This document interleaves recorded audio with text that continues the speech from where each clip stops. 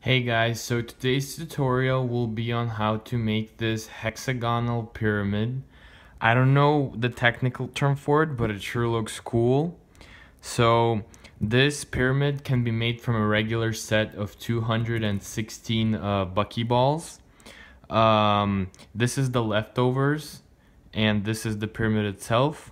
So to begin the process, uh, get your set of 216 buckyballs and the first step will be uh, is to make a line of uh, your buckyballs um, and the first thing you want to do is make a tiny five dot pentagon.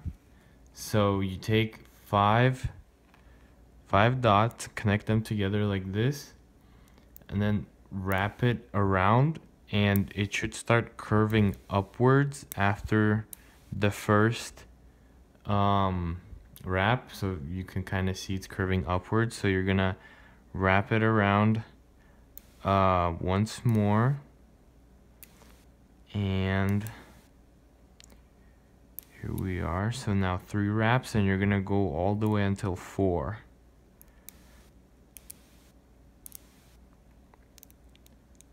Okay so here we are four wraps four layers, one, two, three, four, and it should look like something like this. Next step is to take one dot and put it right here in the middle like this and then push it all the way down so it fills in that spot. Next what you want to do is take five five balls and connect them together into a little pentagon and this can be a little tricky since uh, the polarity can be wrong when you're placing this so you might just have to flip it over if it doesn't work from the first try. And for me it did no this is wrong. Yeah so for me I have to flip it over so just pull it out and then flip it over and try again. And having a little bit of difficulty but Okay, so here we are. Now it's perfectly centered and in its right place. So the next step will be to make another line. And what you're gonna do is continue working on that um, pentagon that we have placed in here. And you wrap it around inside like this to form a bigger pentagon. And you just keep on wrapping it around in the inner part of the uh, pentagon like this until you hit um, the edge, the outer bigger edge. So right now this thing is four layers, but we want to have it at five. So take some more of your buckyballs and then make it into another strand. Um, okay, and what you're gonna do is you're gonna wrap it around the outer uh, part of the bigger pentagon. So you wrap it around like this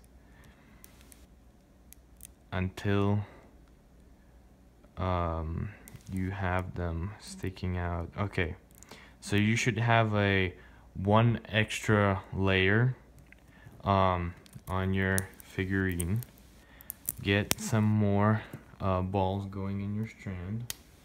Sounds kind of ridiculous, but it makes sense. And then you're gonna wrap um, again. So you place your buckyballs in here. And they should start going like this. And this part can be a little tricky since um, the strand is using less balls than the outer layer. So just go a little slow to make sure they all settle down well. Okay, so now we have one, two, three, four, five, five layers. And now the only thing that is left is to fill this um, hexagonal pyramid all the way to the top. So you place one ball in there, and then you take five, make a pentagon, same price, process as before, and then just place it in here. And mine, mine I have to flip it over um, and then it also took my inner ball out, which is okay. Okay, so I flip it over and perfect. Now it fits uh, into the middle according to the polarity and it's perfect. So continue wrapping inside uh, nice and carefully uh, until you hit the outer edge and you're almost all the way to the top.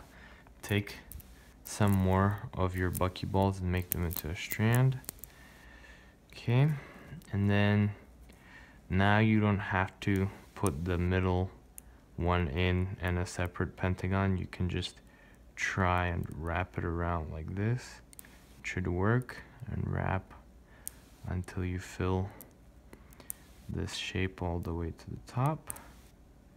Okay, now last part, fill it all the way, having a little bit of difficulty here. Okay, perfect.